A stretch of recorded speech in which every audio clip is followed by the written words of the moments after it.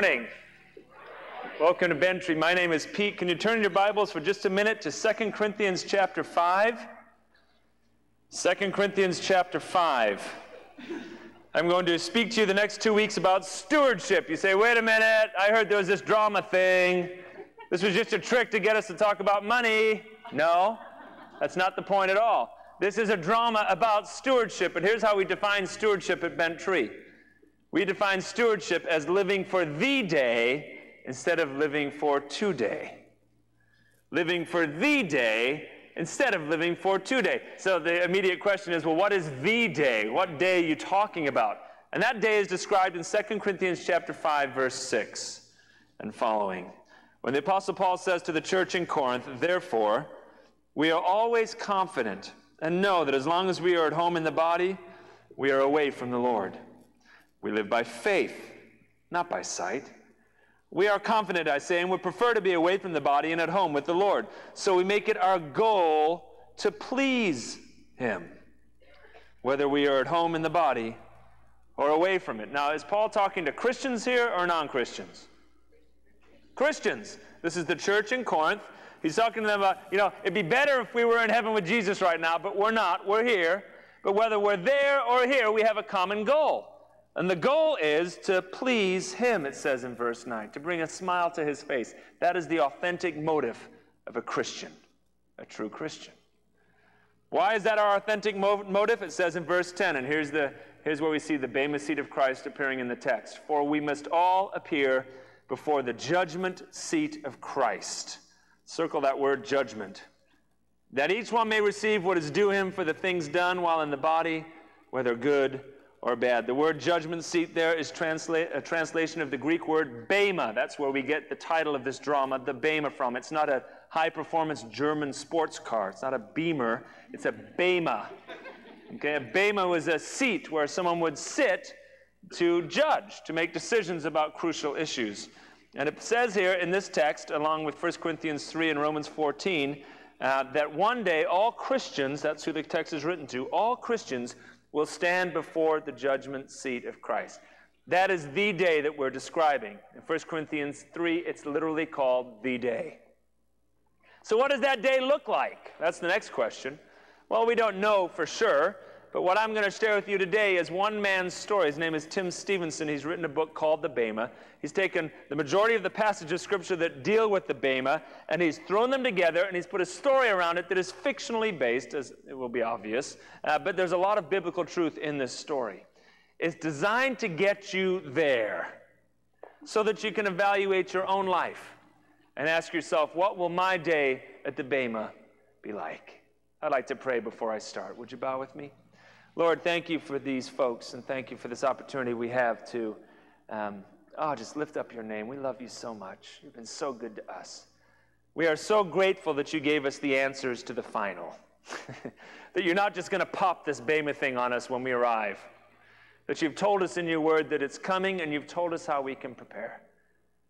Lord Jesus, help me to convey that biblical truth well as you, by your Spirit, act through me.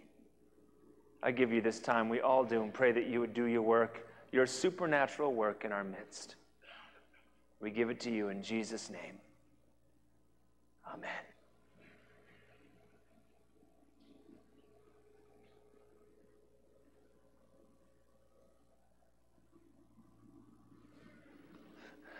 Boy, have I had a day. I mean, I mean, there's never been a day like this day. And I can say that categorically. There's never been a day like this day. In order for you to get a full feel for it, I've got to take you all the way back to the beginning. I started real early, long before the sun came up. I skipped breakfast. I've actually been skipping a lot of things lately. I've been skipping breakfast almost every day. I've been skipping dinner with the family. I've been skipping date night with my wife. I've been skipping all the kids' games. And yeah, I've been skipping church. But, but you know, the reason I'm skipping all this stuff is because I got this big project due at work. My boss has told me that if I can just land this one account, well, there's a partnership in it for me. And if I do the partnership, well, then I'll be able to provide for my family. And, and I really want to provide for my family, and I'm working real hard. And, and so that's why I'm skipping everything. So I skip breakfast, and I hop in the car, and I drive to work, and I park in my parking lot of my office building. The sun isn't even up yet. And I walk through the front doors, and there's uh, Joe, um, I don't even know his last name. I think uh, I just call him Joe the security guard. We'll go with that. There's Joe the security guard. Good morning, Mr. Mathewson. That's my name, by the way, Daniel Scott Mathewson. Good morning, Mr. Mathewson. Hey, good morning, Joe. The Lord been good to you today, Mr. Mathewson? Oh, yeah, the Lord's been fine to me today. I'm pushing 428, hoping this thing goes fast. As the doors open, he starts quoting scripture. Remember, Mr. Mathewson, that therefore there is no temptation that has seized you except that which is common to man. Oh, it's way too cheery for me this early in the morning. I get up to my office on the 28th floor. It's a corner office. It's pretty sweet. And in the office is Juanita Perez, my cleaning lady. I walked in, I said, Juanita, I've asked you time and time again, please be done in my office before I arrive. She said, Oh, Mr. Mathewson, I'm trying. I really am, but uh, I keep coming in earlier, but then you keep coming in earlier and earlier. I can't get here before you anymore. I'm sorry. I'll keep trying. Now, I'm a Christian, so I'm not going to tell her just to leave. I don't want to be mean. So I do the next best thing. I sit, I sit down at my desk, and I just start working, ignoring her. I don't even look at her. Just ignore her. I'm working away and she's dusting away, trying to be quiet. And she comes over to my desk and she takes the picture off my desk and she sees my wife and my kids and she said, Oh, Mr. Mathewson, your children, they're so beautiful. Uh, th- thank you, Juanita, thank you. And your wife, she was so nice to me last year at the company picnic. Oh, that's, that's great, Juanita, whatever. She gets the hint, puts the picture back on my desk and walks to the door. And she pauses at the door and she looks back at me and she says, Mr. Mathewson, you're a good man got a good family. I want you to know I pray for you all the time. Off she goes. now I feel guilty, right? I mean, here I didn't even want to talk to her, and I find out she's praying, but there's no time to feel guilty because I've got this project due at 2, and I've got the rest of the morning to put it together. So I have one person that had different parts of the project assigned to them in my office after another, after another, after another, after another. By noon, it's all done. It's sitting on my desk, the front cover, four color glossy. Mwah looks great. I realize I've got time to go grab a bite to eat. And so I hop in my car and I'm starting to drive down the road towards this great Jewish deli that's just right near my office. And as I'm just driving down the road, minding my own business, that's when it happened. Just like that.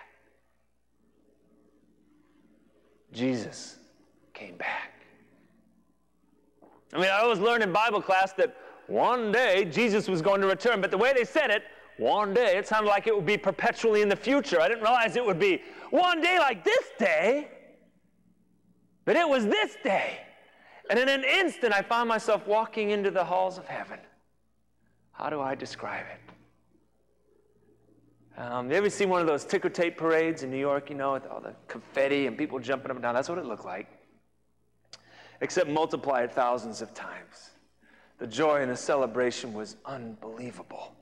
I saw people I hadn't seen in years. I saw people who had died decades earlier that I had forgotten to miss. and we reacquainted ourselves with each other and we talked and we laughed and we talked about old times. And oh, it was absolutely exhausting. I saw a rock. I kind of excused myself from everyone else and thought, I'm going to go sit down over here and rest for a little bit. I was tired. It's been a big day. I sat down, and even though I was alone, at least I thought I was, I sensed like there was someone with me. But I couldn't find anyone, but I had this nagging sensation that someone was watching me, and finally I just said, Hey, is there anybody out there? Is there someone there? And oh, yeah, there was. Hello. Who or what are you? He said, My name's Uriel. I'm a heavenly messenger. You're an angel. Yes. well, nice to meet you, Uriel. I've never met an angel before. Well, I've known you for a long time, Daniel. You know my name, of course. How do you know my name? I was assigned to you at the moment of conception to make sure you were all right. You're my guardian angel? Well, we don't use that terminology up here, Daniel. but you can call me that if you want. I ran over and I gave him a hug. How do I describe him? He was, He was about nine feet tall and he just looked like a hollow person made out of light. He said, I'm here uh, to take care of you and to show you heaven. I said, You are? He said, Yeah. Well, teach me heaven. Teach me everything I can learn about heaven, please. And so he started to teach me about transportation in heaven. He said, Daniel, I can pick you up by your arms and I can fly around. And he did it. Oh, and when I got over my terror, I started to enjoy it. And he set me down. He said, Your eyes are different in heaven too. I said, How? He said, See that thing over there? It's about five miles away. Look at it and zoom in on it. And I looked at it and zoomed in on it, and I could see it as though it was right in front of my face. I had telephoto eyes, zoom lenses. They worked. He said, communication is different in heaven too. I said, how? He said, you don't have to verbally communicate. You don't? No. You can just think things to each other. I, I said, let's try it. And so I had a conversation with Uriel, just with our minds. And it worked. And they said, and let me teach you about the coming judgment. I said, the what? The coming judgment. I said, no, there's no coming judgment. Yeah, there is. No, no, no. I learned. I learned about the great white throne judgment. That Jesus would stand on his throne and he would separate the sheep from the goats, those who really knew him and those who didn't. And those who didn't, they would go to hell forever. And those who did, they got ushered into heaven. And anyone whose name was written in the Lamb's book of life was one of those sheep and they were ushered into heaven. And my name's written there, so I, I get to escape that judgment. There's no judgment for me. And he said, Didn't anyone ever tell you about the Bema? Uh, no. What's the Bema? The judgment seat of Christ that every Christian will stand towards. I had a shriek of terror go from my toenails to my hair follicles. I was absolutely terrified. But it was a strange terror. It was kind of a terror combined with a comfort. Kind of like when I went to the doctor as a kid, I had a sore tummy right here, and he poked and prodded, and that made it even worse. And he said, I've got to take out your appendix. And I was terrified to get my appendix taken out, but I knew I'd be better off when it was done, so I said, Let's do it. That's how I looked at this Bema judgment of Christ. I was terrified, but I knew, I had sensed in my soul that it would be better for me afterwards, and so I said, let's do it as if I had a choice. I said, Uriel, teach me about this Bema seat judgment of Christ. He said, okay. It's not punitive. What do you mean? Your sins will not be on trial. They won't know. You're not a criminal on trial. That's all been taken care of. The blood of Christ has covered your sins. You don't have to worry about your sins at the Bema seat judgment of Christ. Oh, I was so relieved. Well, if it's not about that, what is it about? He said, Have you ever seen the Olympics on TV? Yeah. And someone wins a race? Yeah. And they get up on the podium? Right. And then the official comes by and they bow their head? Yeah. And the official puts the medal on their head? Yeah. That's what the Bema seat is all about. What do you mean? Well, the Christian life was a race and you've run it and you've come to the finish line. And the Bema seat of Christ is when you'll stand before Jesus and he will reward you for what you did of eternal significance in his power while you were still on earth. He will? Yeah. I was racking my brain trying to think of anything I'd done of eternal significance. And I was praying that Jesus' memory was better than mine.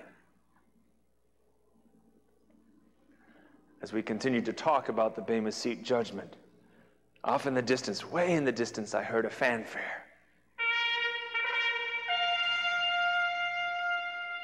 Uriel, what's that?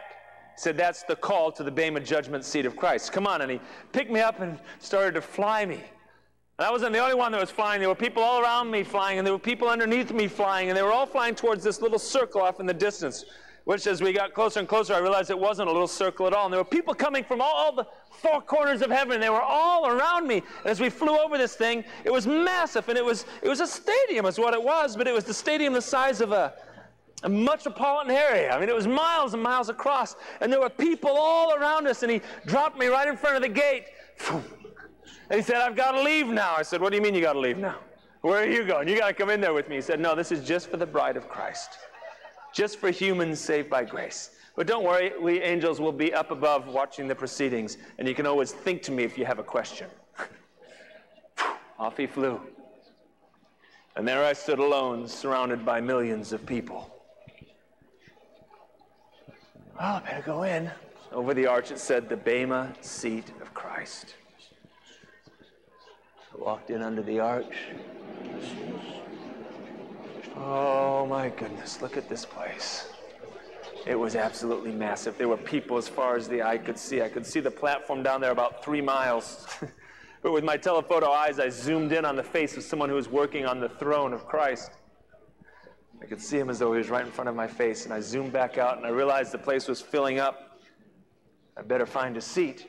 I saw one over there, and so I started to make one. Excuse me. Excuse me. Excuse me. Just like church. excuse me. Excuse me. And I found my seat. And as we were sitting there, I realized that there was someone sitting next to me, and so I looked at him and I smiled, and he said, Hello. I said, Hello. He said, My name is Indira Jenske. It is. He said, What is your name? When and where are you from? I'd never heard that question before.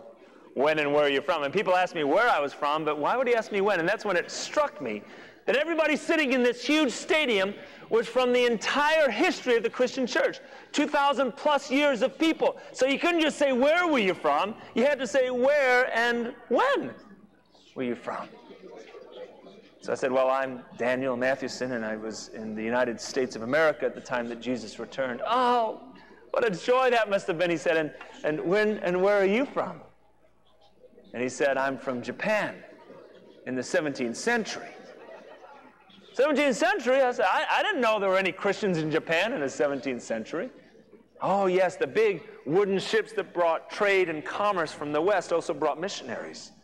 And one of those missionaries came to my little village, and he shared the good news that Jesus, who was fully God and fully man, had come to earth and had shed his blood on the cross.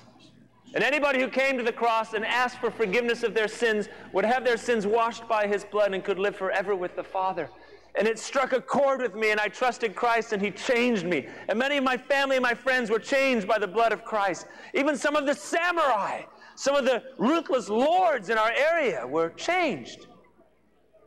But my samurai was not changed. He was a brutal man, and he persecuted the church, and he even put some of us to death. Some of us? I said, yeah, some of us. You were put to death? Yeah. I was crucified on the side of a road.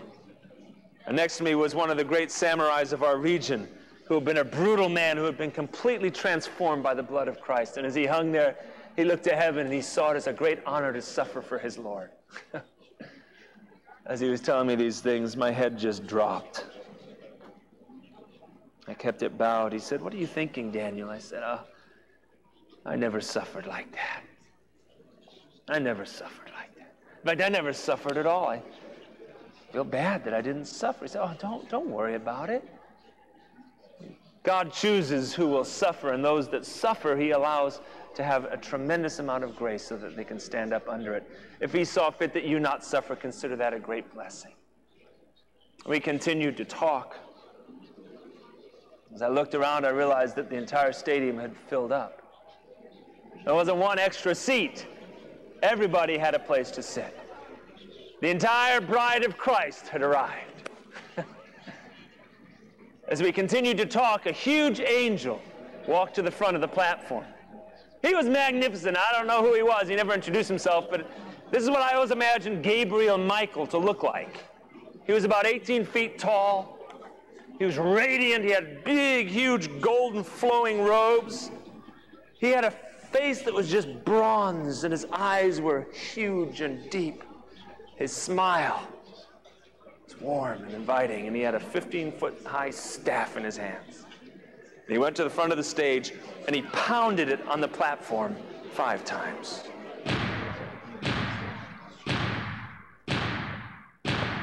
By the time the third pound had reverberated through the stadium, it was completely quiet. Dead silence. You could have heard a pin drop. And the angel said, Welcome to the bride of Christ. Your groom awaits you.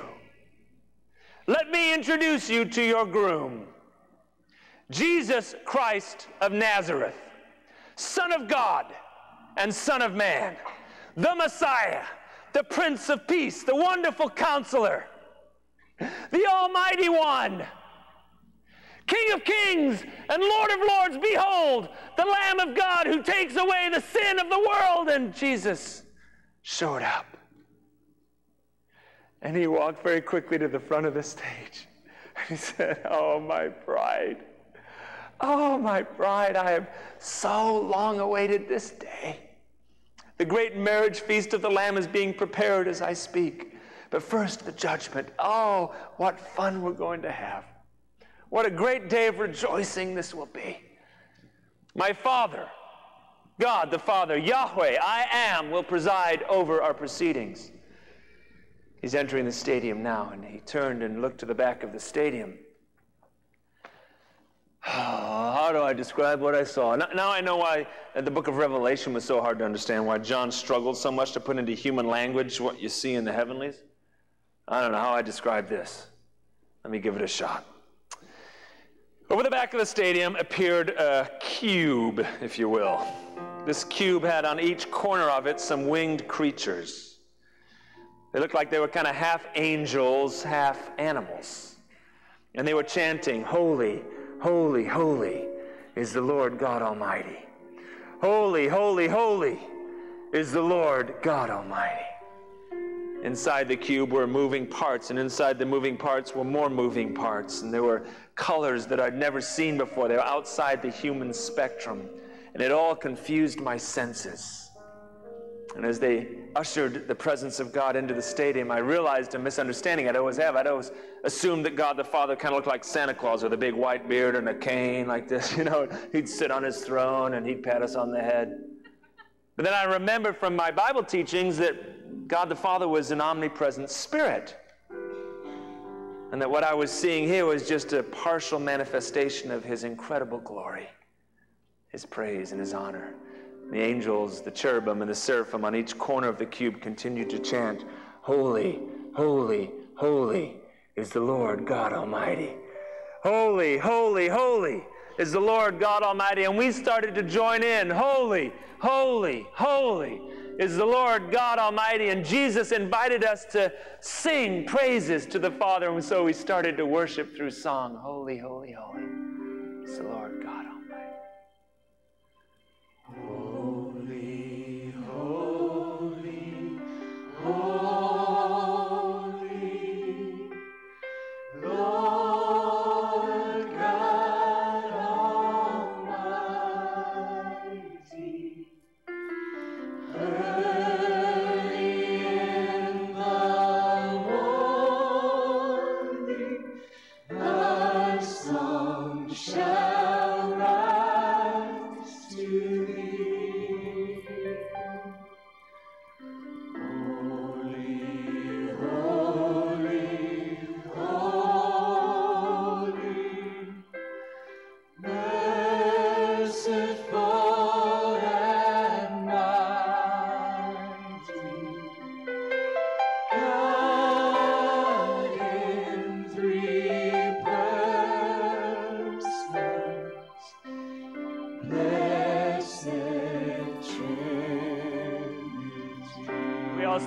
Feet because we couldn't possibly worship the Father in His presence as we sat down.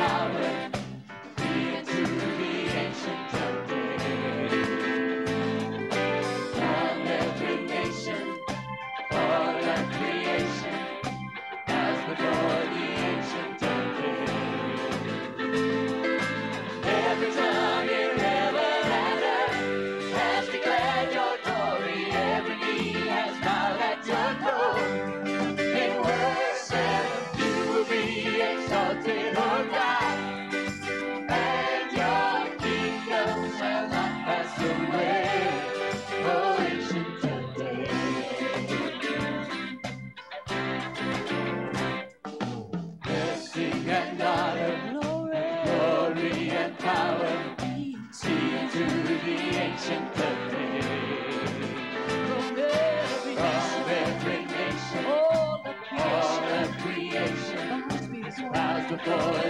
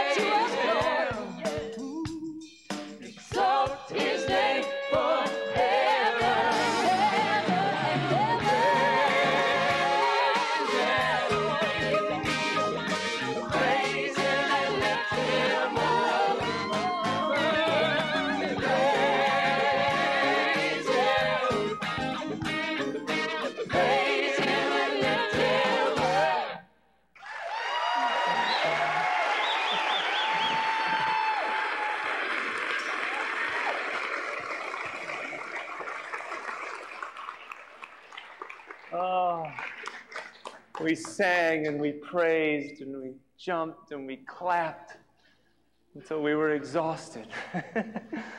we eventually found our ways back to our seats. As I sat down, I found myself thinking, boy, you know, I never, I never praised Jesus like that when I was back on earth. You know, in our church services, I'd kind of stand there, kind of looking around at the ceiling or singing half heartedly. And I thought, you know, if I could do it again, if I could go back, I would sing differently if I had another chance.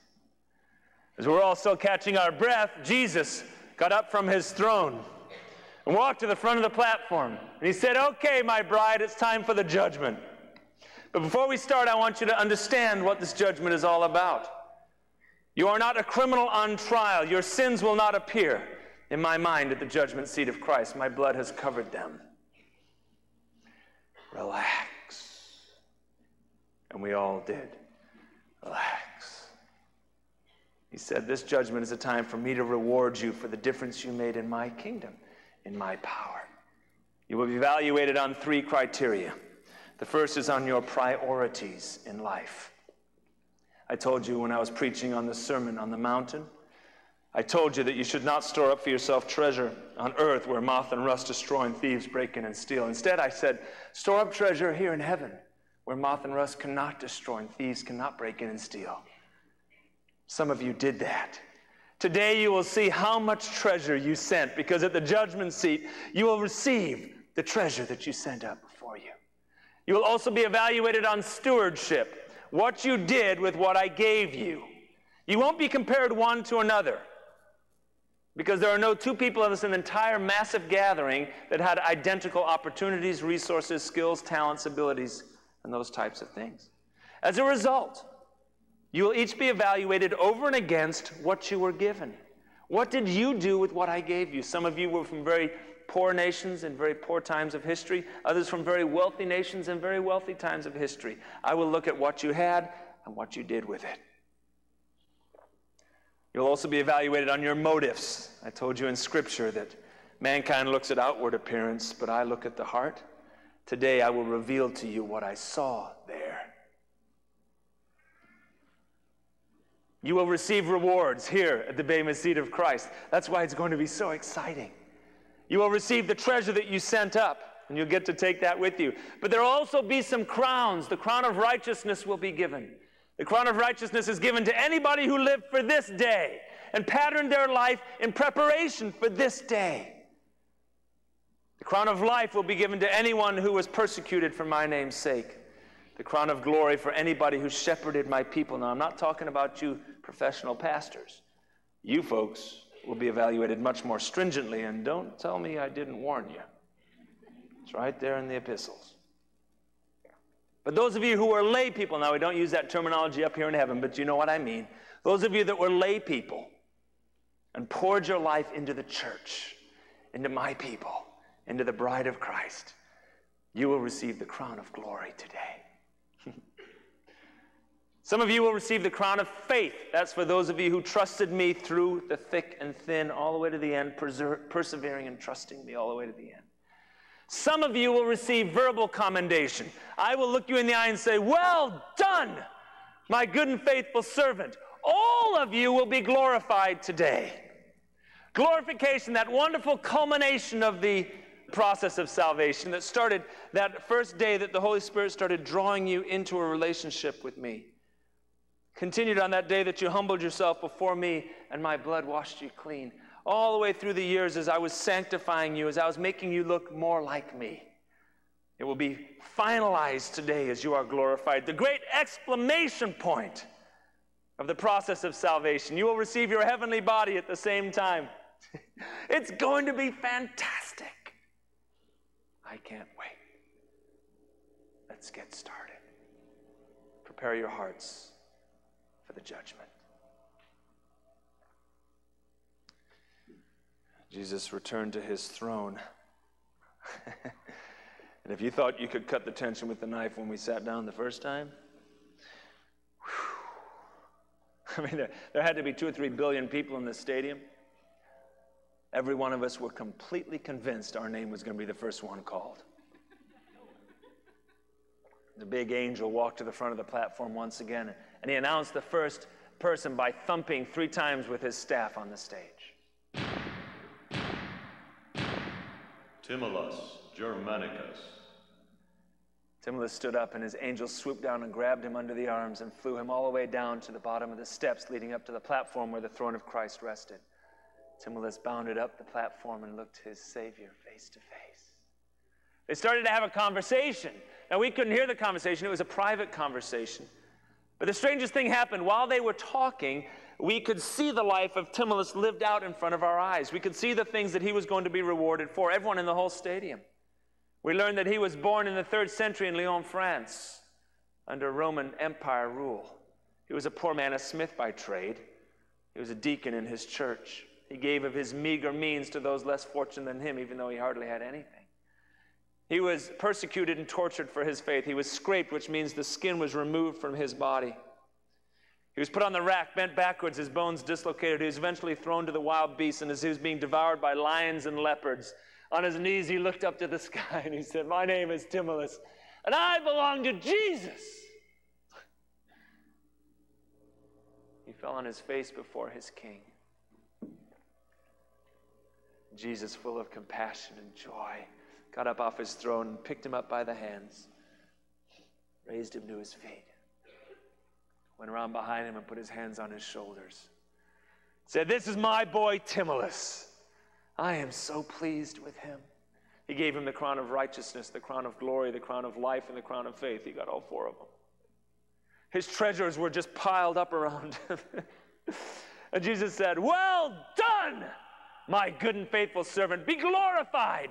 And in an instant, he was changed, and he and all his treasures flew back to his seat. And as he got back to the seat, he looked like the North Star in a blackened sky. And we were all amazed. An angel introduced the next person to be judged. Graecina. Pomponia was from Rome in the first century. She was a believer even before Paul arrived in Rome.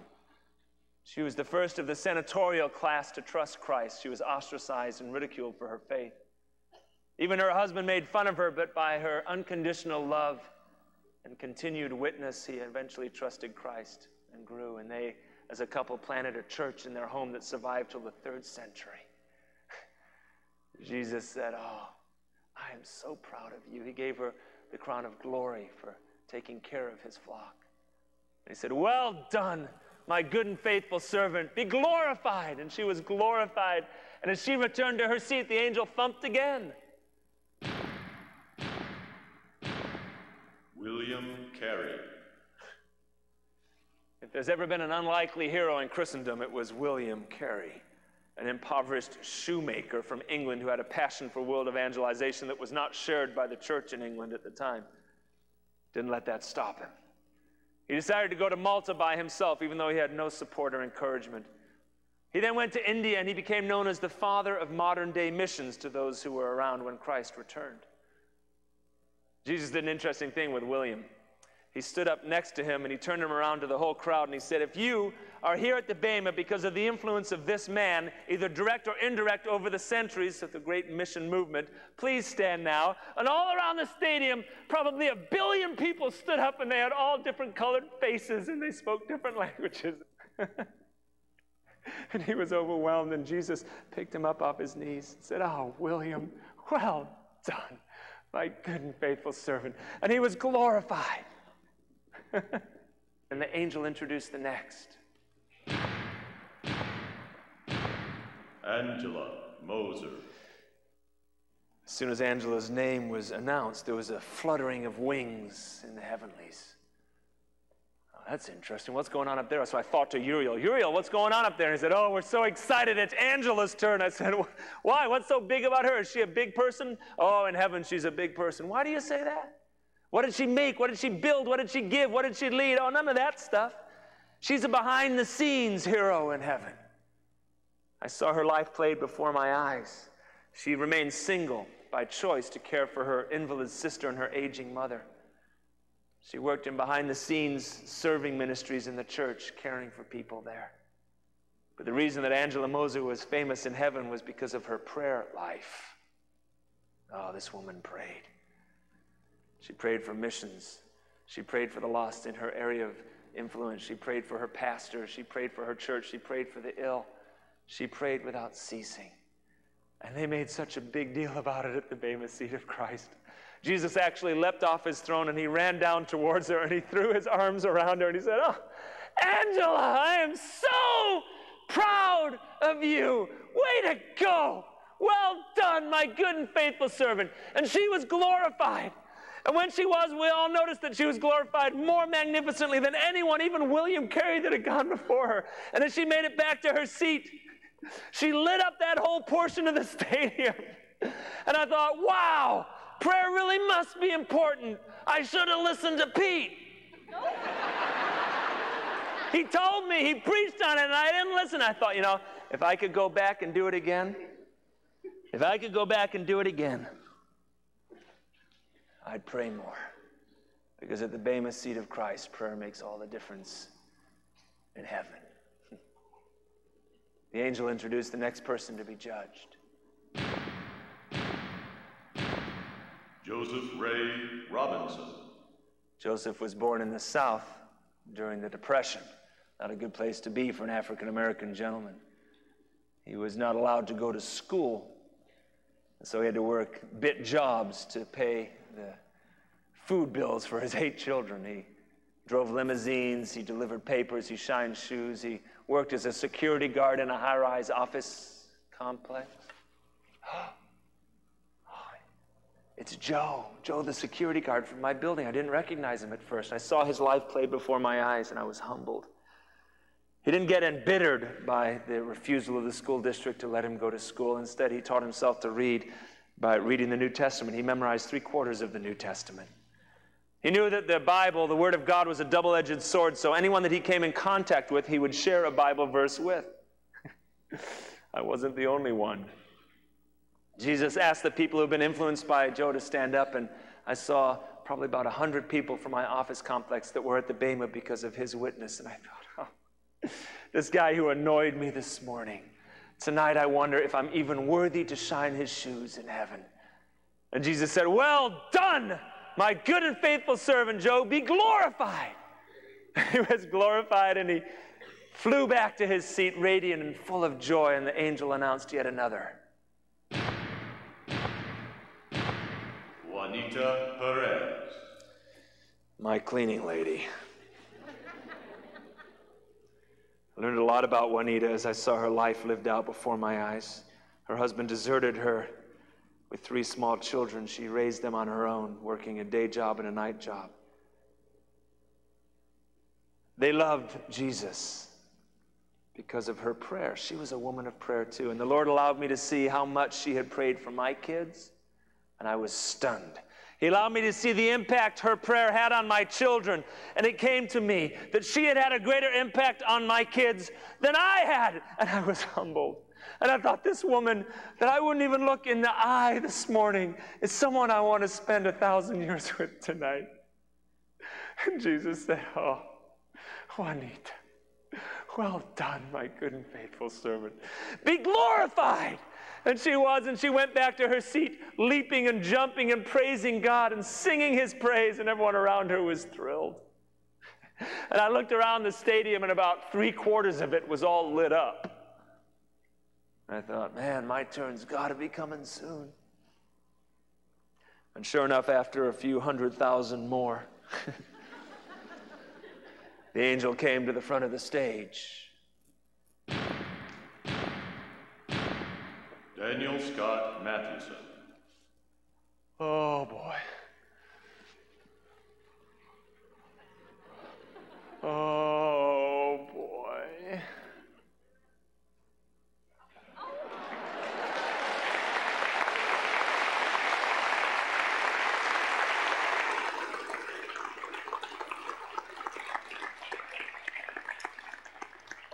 This story is too long to tell in one sitting. Next week, we will see, played out before us, the Bema Seat judgment of Daniel Scott Mathewson. Uh, be prepared, you may see yourself there. Here's how you can prepare your heart biblically this week. Take out a pencil and paper real quick, or pen and paper. And remember, we are not Bent Tree Drama Fellowship. We are Bent Tree Bible Fellowship. So here are some passages you can read in Scripture this week that will give you a theological grounding for the Bema seat of Christ. Are you ready? 2 Corinthians chapter 5. 2 Corinthians chapter 5. 1 Corinthians chapter 3. 1 Corinthians chapter 3. Romans chapter 14. Romans chapter 14. And the entire Sermon on the Mount. Matthew 5, 6, and 7. In those texts, you'll see Paul describing the Bema seat of Christ. You'll also hear Jesus teaching on rewards and what kinds of things you'll be rewarded for at the Bema seat of Christ. And you'll be coming biblically prepared next week to hear what God has to say through the drama.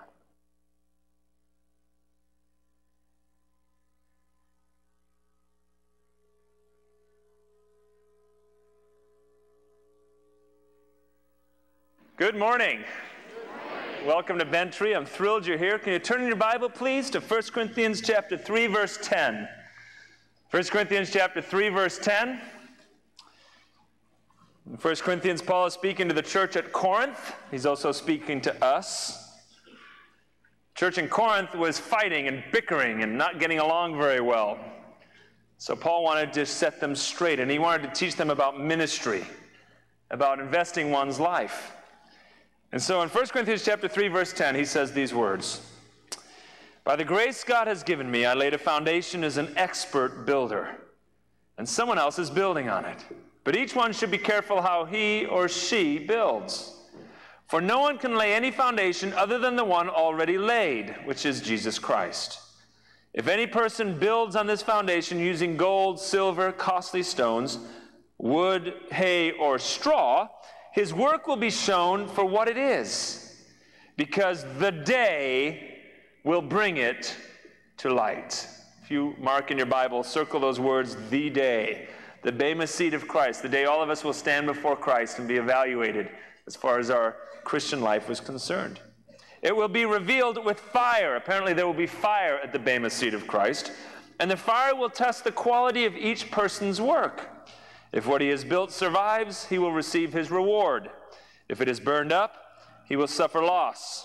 He himself will be saved. That's not in question at the Bema seat of Christ. It's not a salvation issue. You will be saved, but only as one escaping through the flames. What will that day look like? The drama I'm sharing with you this morning is part two of a drama designed to show you what that day might look like hopefully, so that you will live today for that day. If you weren't here last week or if you need a refresher, maybe this will help you. We're calling it Previously on the Bema. I'm going to speak to you the next two weeks about stewardship. You say, wait a minute, I heard there was this drama thing. This was just a trick to get us to talk about money.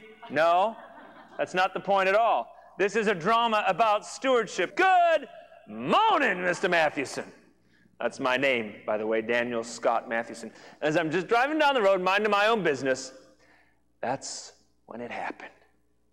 You had this nagging sensation that someone was watching me, and finally I just said, Hey, is there anybody out there?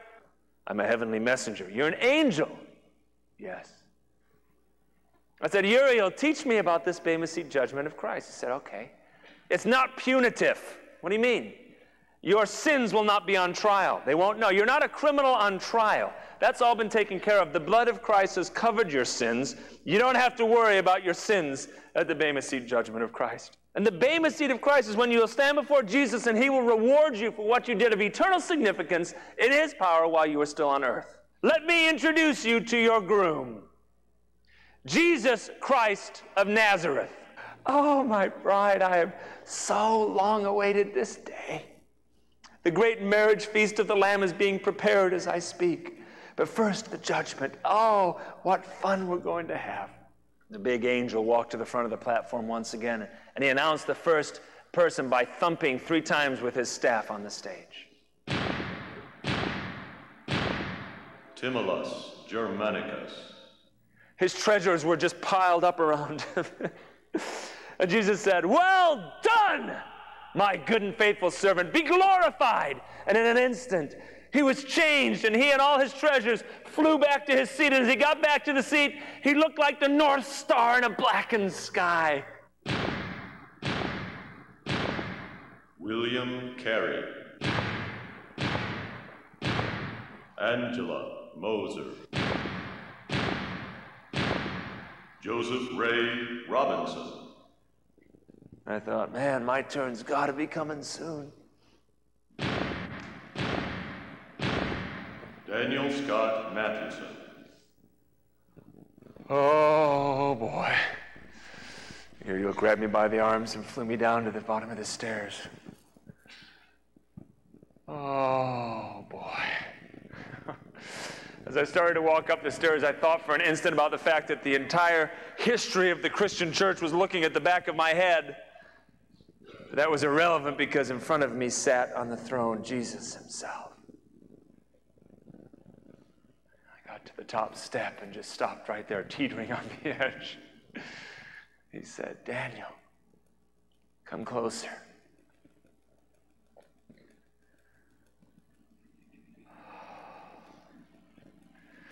We had a conversation.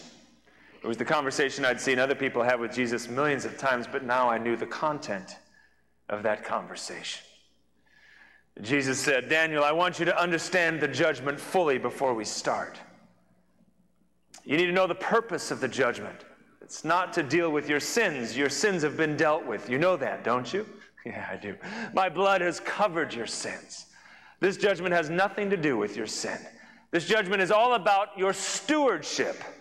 What you did with the things that I entrusted to you for my purposes. Daniel, you were given 37 years of time, 25 after your conversion. We'll evaluate what you did with that time. You were given financial resources. You were given spiritual gifts. Two, actually. You were given the gift of teaching and the gift of encouragement. We'll evaluate what you did for my church with those gifts. You were given talents and treasures. You were given a family and a background and a heritage. We'll take all those things, we'll put them all together, and we'll see what you did with all that for me. Do you understand? I said, Yeah. Yeah, I understand. He said, Daniel, sometimes people ask me questions when they get to this point. One of the questions I hear all the time is, why are we doing the judgment today? I mean, why didn't you give us uh, rewards back when we were on earth? And my response to that is, I did. You were so busy you didn't notice. Either that or you attributed the rewards to your own efforts and missed them altogether. But the reason that we do the majority of the rewards today is because before this day, it's impossible to know the full impact of your activity. You see, when you impact someone's life, then they go and they impact other people's lives, and then those people go and impact other people's lives, and it's like a web going out, and you will get credit all the way down the line here at the Bema Seat of Christ. Wow. As he was telling me this, I couldn't help but think of D.L. Moody, a man who lived a couple hundred years before me. His judgment had been just before mine. D.L. Moody was a great evangelist, led lots of people to Christ, and he got credit for those things. But he started a little Bible study that grew into a, a school, and that school grew into a big school called Moody Bible Institute. And I watched with amazement as I saw in his judgment, he received partial credit for everybody who was trained at Moody Bible Institute here at the Bema. And then those people, when they went out and impacted people, like my youth pastor from my church back in Dallas and his wife, they were Moody trained. And they came and they influenced kids in our church. And then those kids influenced others. And Moody got credit for all these people hundreds of years after he died. Jesus said, Today I can tell you the full impact of your work in my name, Daniel. And I said, I'm looking forward to seeing what it looked like, Jesus. He said, Let me explain the process. That's when he took me to a Bible passage, actually one found in 1 Corinthians 3 in our Bibles back on earth. He said, Daniel, your life is like a house. It was built on the foundation of me the day that you trusted me for salvation when you were 12 years old. I was the foundation of your house, but then in my power, you were told to build a house of eternal significance. Now, in the same way that you can build a building with um, cheap material or valuable material, with wood and hay and stubble, worthless stuff, or with precious stones and jewels, worthwhile stuff, you can build your life same way. You can build it with worthless temporal stuff or eternal, valuable, worthwhile things. I want you to imagine, Daniel, that I'm taking a big flamethrower and I'm going to put it over your life, over your house. And those things made out of temporal things, the wood, the hay, and the stubble, the worthless things, they will be incinerated before your eyes and we'll never deal with them again. They'll be gone. They mean nothing here. But those worthwhile things, those precious stones, they will be purified in the fire. And you will receive those as treasures for the rest of eternity. Jesus started to teach me about worthlessness on earth. You see, I was uh, assumed that that meant sin and the nasty things we did to people, and I was excited about that getting burned up. but what I didn't realize is that also included things that people on earth considered good, but things that were done with impure motives, wrong motives. And I looked at Jesus and I said, I got to object, Jesus. I mean, when did I ever do anything with 100% pure motives? He said, Never. You're incapable. You're human. But what I was looking for, Daniel, was the dominant motive. I mean, what was driving you? Even though there's other impure motives there, what was driving you?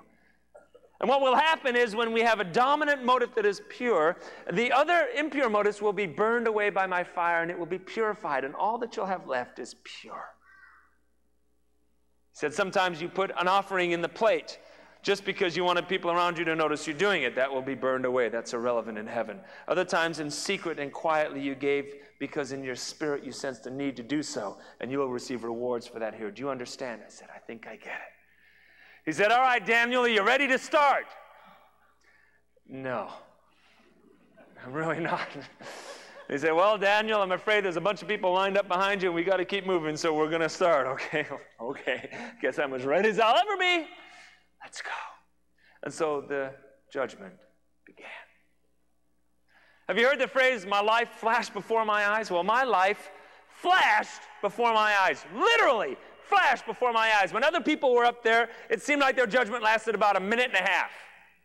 But my judgment lasted 37 years. My entire life I lived over, except this time I lived it with Jesus' perspective instead of mine. Jesus walked me through my entire life fire coming from his eyes, burning the worthless things, refining the worthwhile things.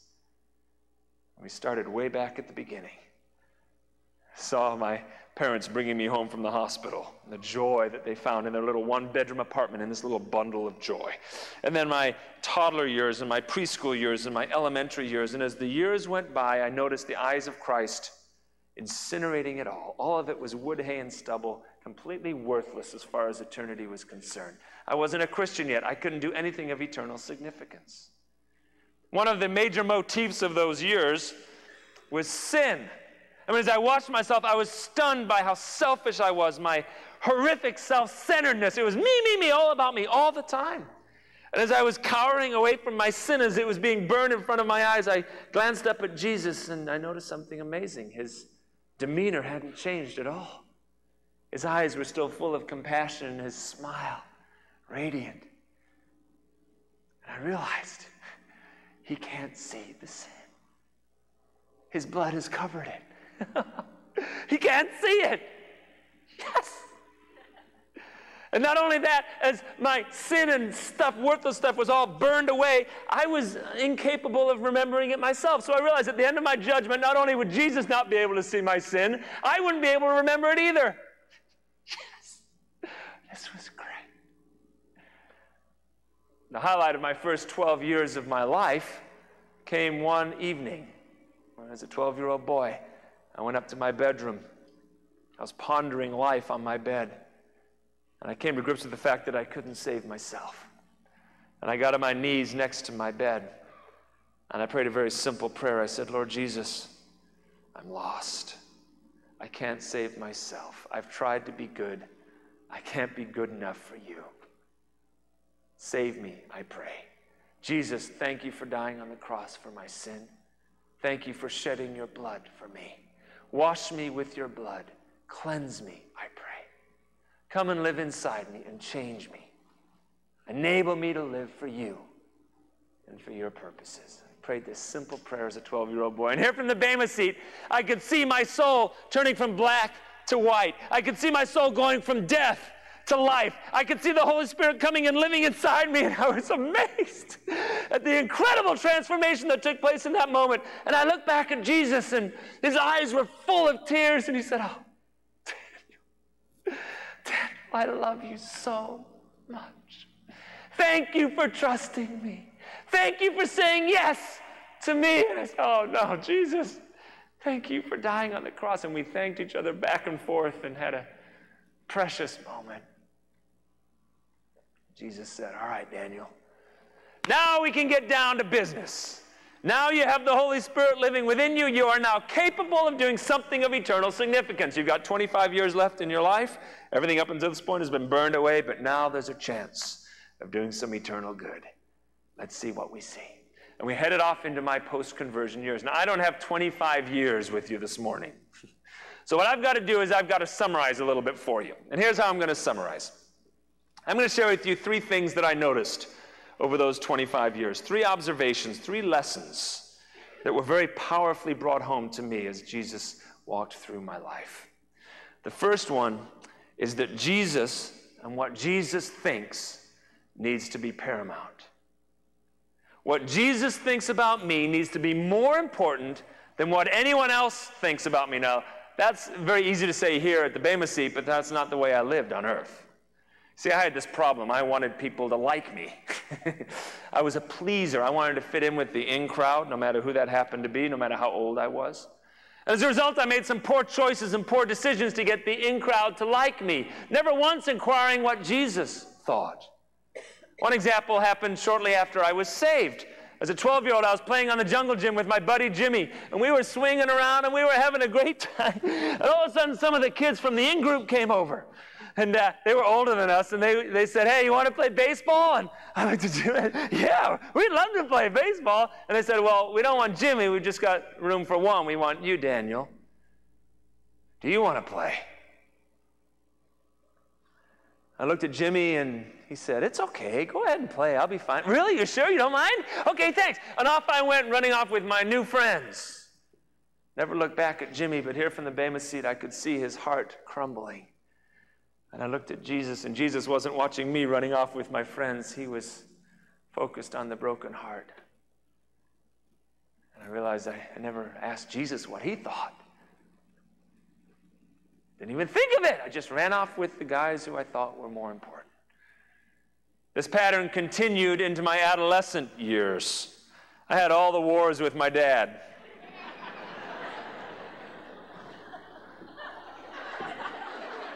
Son, why don't you go get your hair cut? Dad, I cut my hair last year. I'll cut it again next. Get off my back, all right?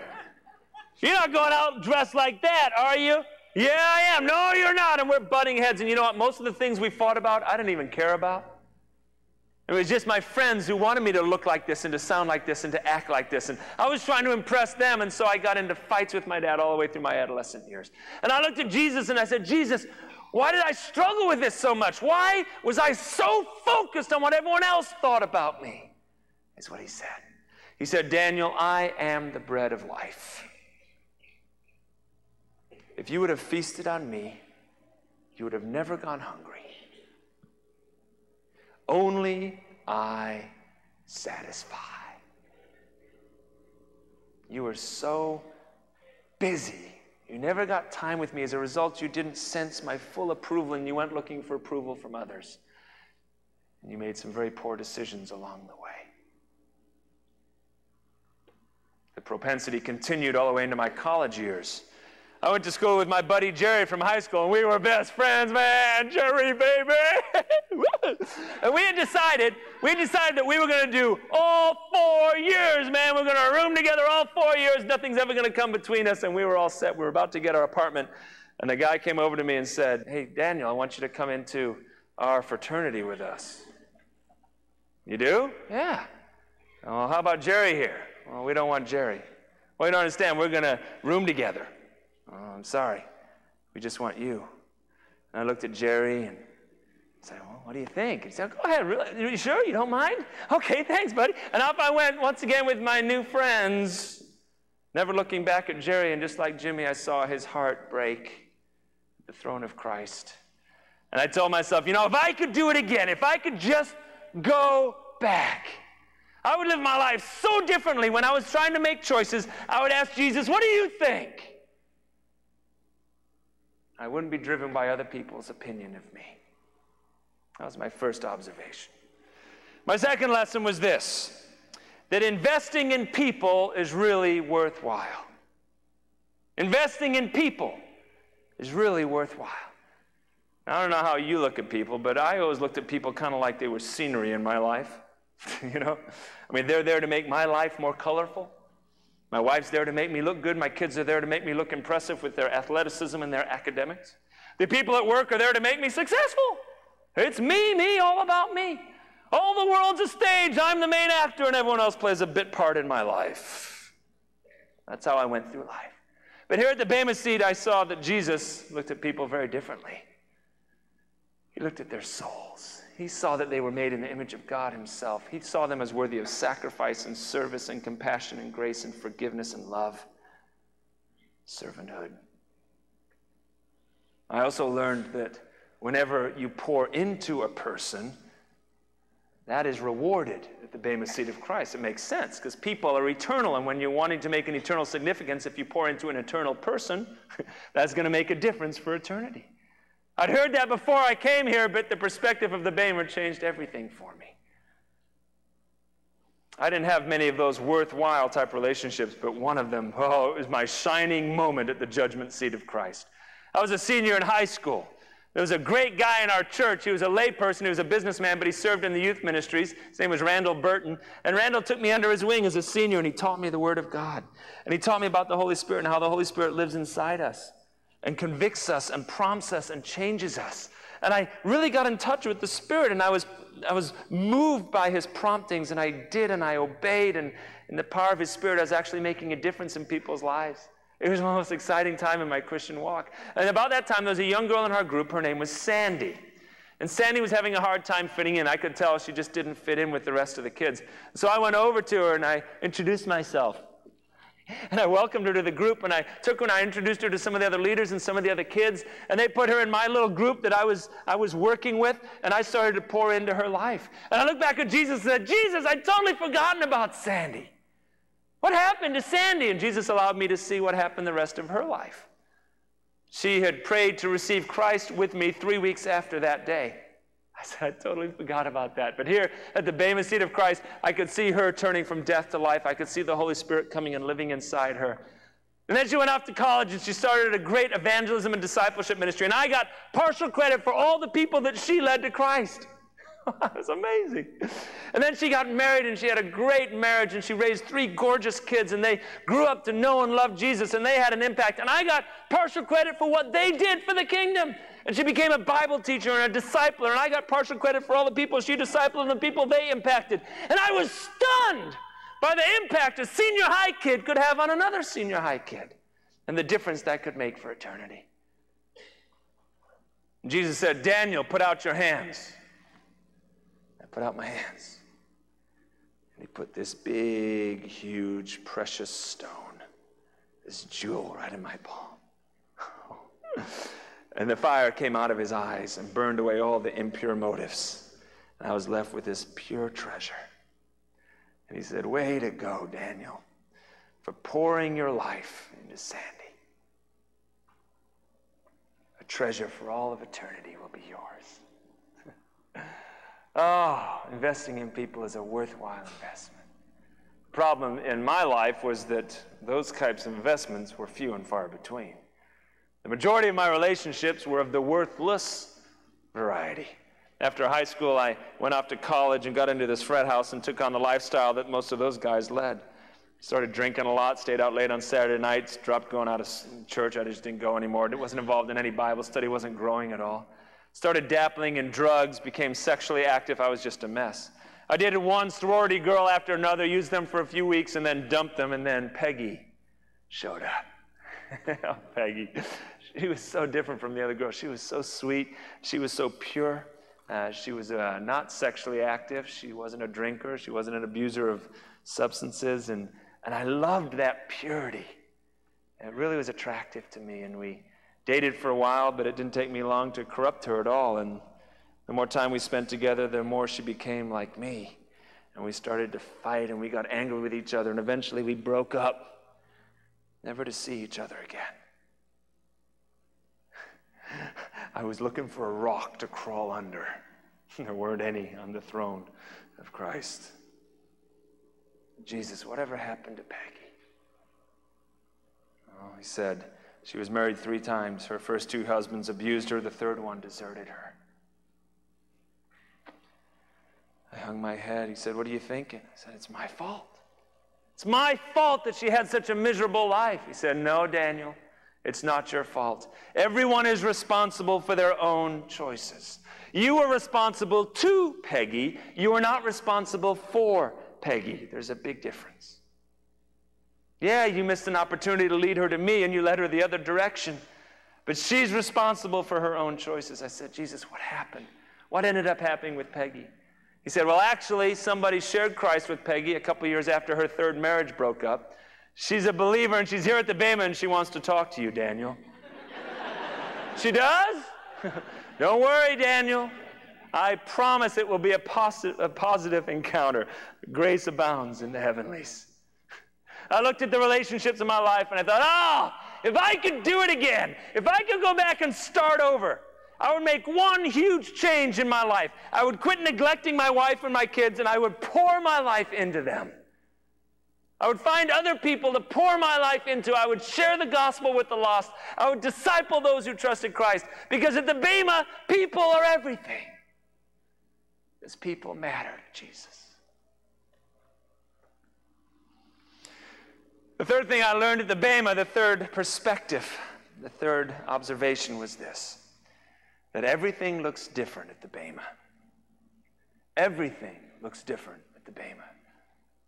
You heard the saying that you can't see the forest for the trees. Well, when I was down on earth, I was walking around with this massive oak tree right in front of my face. I thought I could see the big picture, but here from the Bema, where I could really see the big picture, I could see the whole forest at once, I saw how blind I was, how ridiculous many of my choices were.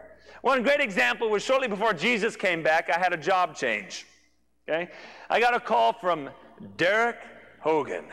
Oh, Derek Hogan was the number one man in my industry in town. And just getting a phone call from him made my heart beat fast. He said, Come on over, I want to talk to you. I walked into his beautiful, spacious office. Hello, sir. Nice to meet you. And he said, I'd like you to come work for me. Me? Really? Oh, man. And he said, Not only that, I want to double your salary. if I died and gone to heaven, I thought, double my salary? You're kidding me. Double my salary? Okay, I, I need to go talk to my boss. I'll be right back, okay? Uh, I, he said, it won't be on the table for long. Don't waste your time. I'll be right back.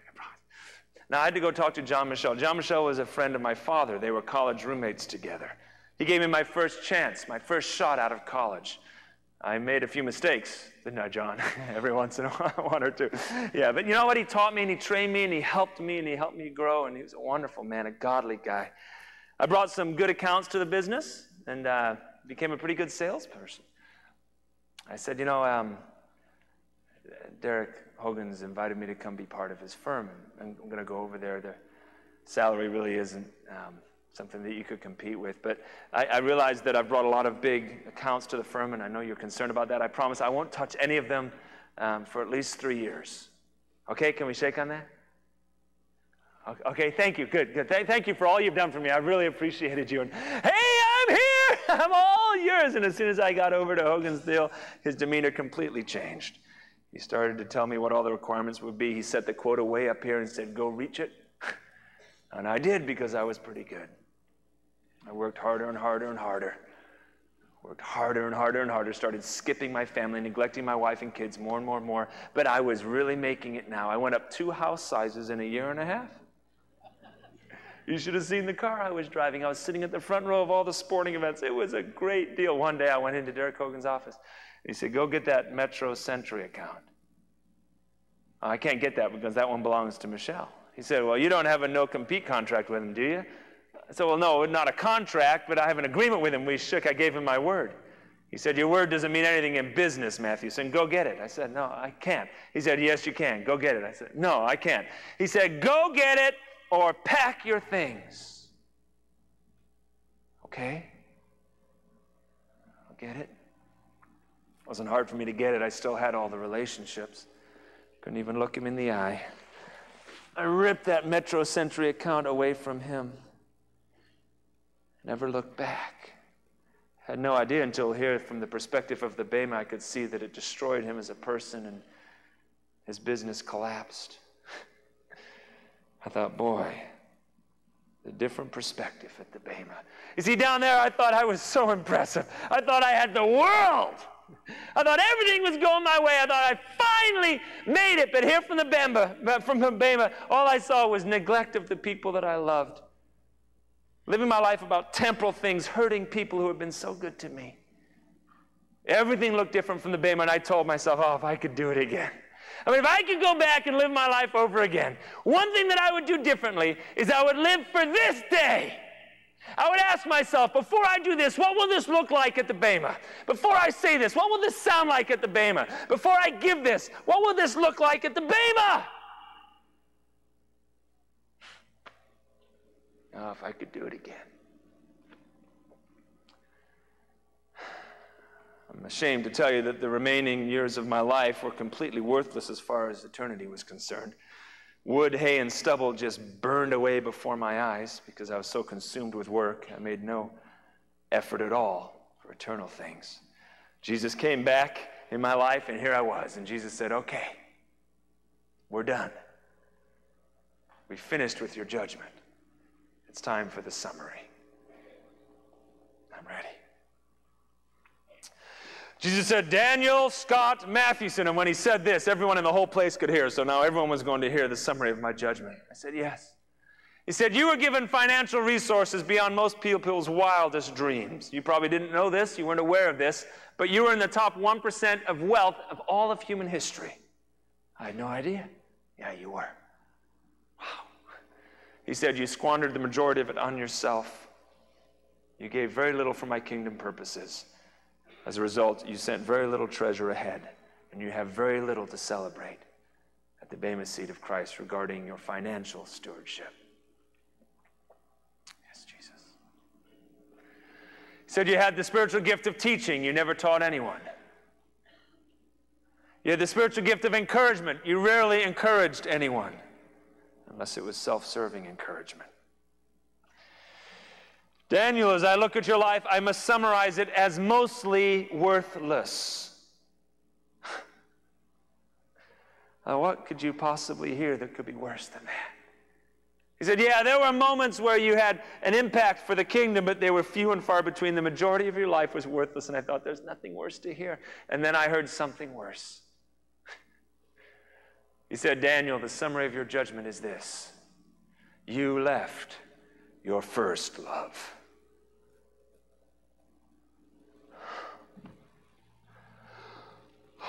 My legs gave way. I could barely breathe. I thought I'll never be able to get back on my feet again. It was true. I mean, it was completely true. I'd trusted him for salvation and then I'd thrown him away. I'd neglected him. I dragged him around like a pet on a leash. when I needed him and I was excited about him and I cuddled with him, but then I just dragged him around. I threw him in the back seat of my oh so impressive life while I drove around. It was completely true. I had left my first love. But then Jesus said the most beautiful, compassionate, graceful words ever spoken to a human being. He said, Daniel, you left your first love, but your first love never left you. oh, thank you, Jesus. Thank you, Lord. He said, Daniel, there is no condemnation for those who are in Christ Jesus. Yes, so glad. He's not going to condemn me. The old is past, everything is new. Daniel, it's going to get better from here. there were tears rolling down my cheeks, which confused me a little because I had always thought the Bible taught that there's no crying in heaven. And then I remember what those passages in Revelation actually say is that God will wipe away all the tears in heaven, presupposing tears to wipe away. Well, here are my tears tears of regret and disappointment, shame. Jesus did it for me. He got up off his throne and he walked down to me.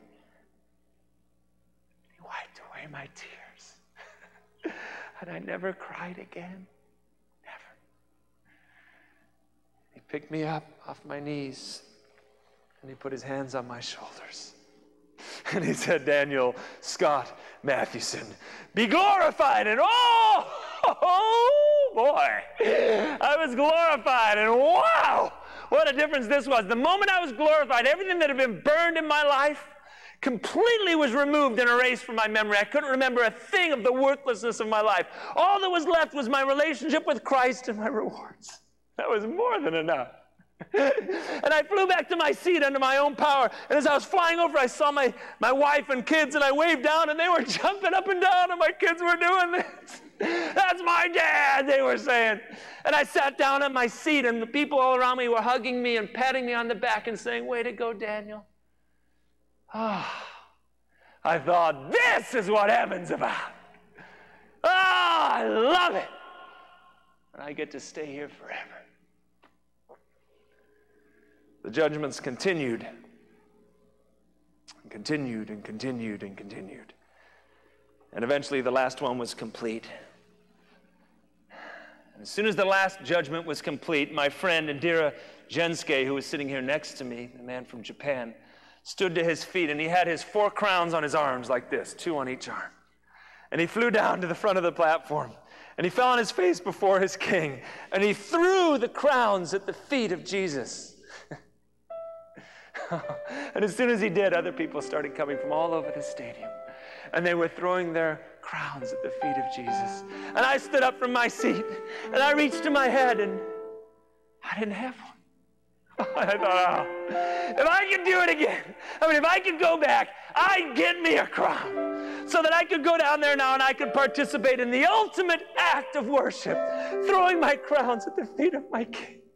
but whether we had crowns or not, we could all offer a song of praise, a sacrifice of praise.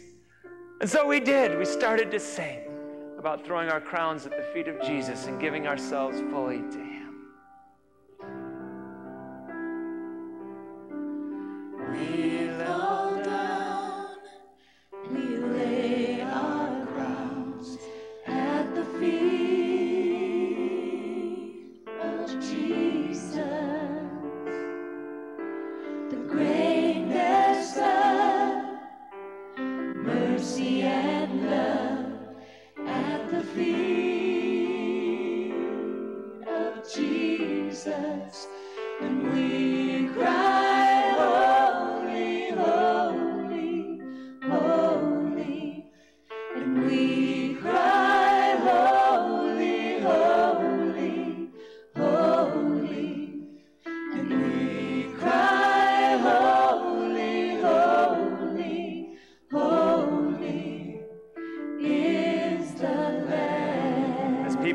In, they all stood to their feet around the great stadium and sang from the bottom of their hearts.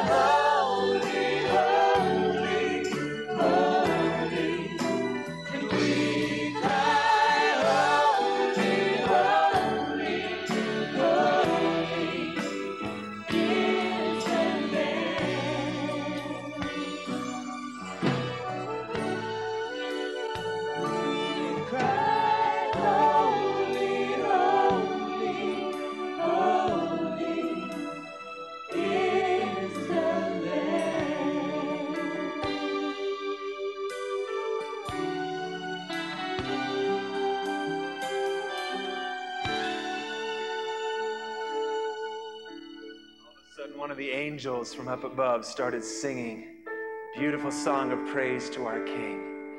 And we all knew just to stop and close our eyes and listen and worship Him along with the angel. I love.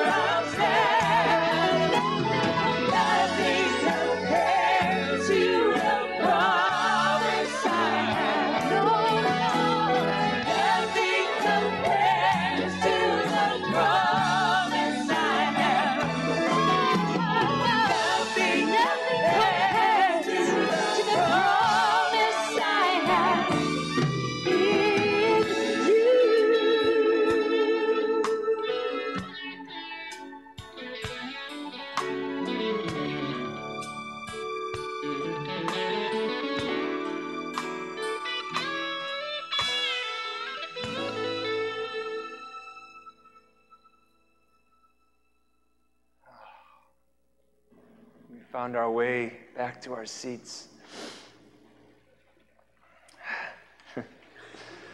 as soon as we'd all sat down, Jesus got up from his throne, the back of the platform. There were, there were so many crowns that he could barely get to the front. There wasn't a crown left on anybody's head. Kind of worked his way through the piles. he got all the way to the front. He said, The marriage feast of the Lamb is about to begin. But before we start to feast together, I'm sure you want to catch up with some old family and friends. Go and spend some time. We'll give you another fanfare when it's time for the feast. Go and enjoy yourselves. And we all left at once, billions of glorified beings. If you've ever seen a great fireworks display on the 4th of July, it was nothing compared to this. I knew instinctively where to go, and I flew outside of the stadium and I saw my wife there. I hugged her. My kids. And we looked at our treasures and we were amazed at what God was able to do through us. And I turned around and there was John Michelle, my old boss. And he was running towards me with his arms like, like the father of the prodigal son, and he threw his arms around me. He hugged me and he said, Oh, Daniel, I love you so much. I love you too. And Sandy came up, the girl I'd led to Christ in high school, and she was radiant and magnificent and beautiful. Perfect. She grabbed my hand, she looked into my eyes. She said, Daniel, thank you for sharing the gospel with me. Thank you for having an impact in my life. And I said, Oh, no, Sandy, thank you for being impacted by me. You were the only one. I needed you today.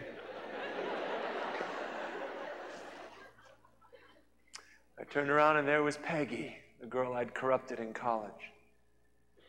There was no shame. When I looked at her, there was no shame. We started to walk and talk, and we talked about the good times we had together, the enjoyment we had together. And I, off in the distance, thought I heard a noise, and I thought it must be the next fanfare for the feast, but it didn't sound like a fanfare at all. It's kind of annoying and loud, and oh, what is? Oh no! Oh, what? Oh, and I grabbed my alarm clock and I pushed off, and it was a dream. No, it couldn't have been a dream. I want to go back. Now, that woke up my wife, who was sleeping next to me. She just grumbled and rolled over. And there I was sitting in my bed saying, You've got to be kidding me. But then I remembered all those times when I was at the Bema seat and I'd said to myself, You know what? If I could only go back, if I could do it again, what I would do, I would live my life differently. I looked at my wife and I kissed her on the cheek. Said, honey, you're not going to recognize hubby when you wake up today. and I went into the rooms of all three kids. I said, Daddy's home. I couldn't wait to pour into my kids. And I ran into my living room and I got out my Bible and I looked at 2 Corinthians 5 and 1 Corinthians 3 and Romans 14 and the, the Sermon on the Mount and some of Jesus' parables. And I realized that my dream was theologically sound. It was true. One day that was going to happen or something like that. And I felt compelled to get on my knees and pray. A prayer of commitment to my King. A prayer that said, I'm tired of living for this day. I don't want to live for that day. I invite anyone in this room right now, or any other room, to join me in this prayer. If the Holy Spirit is prompting you to say a prayer of commitment, I encourage you, get off your chair right now and get on your knees. Physically, get on your knees with me. Don't feel compelled to do this if the Holy Spirit isn't compelling you, but if He is, I encourage you to obey. And we're going to pray a simple prayer. I'm going to pray it out loud. I'd like you to pray it out loud too. Pray it really out loud like you mean it. I'll do it phrase by phrase, and it goes like this Dear Lord Jesus, I love you. Thank you for saving me, Jesus. Thank you for living inside me so that I can make an eternal difference. I'm tired of living for myself. I confess that sin before you. I want it to be different from now on. I want my life to never be the same again. Help me to live for that day, not this day. Enable me to pour into people. And help me to focus on what you think, not what others think. I'm all yours, Jesus. I'm not holding anything back. I love you so much. And I can't wait to see you on that day. I pray these things in Jesus' precious name.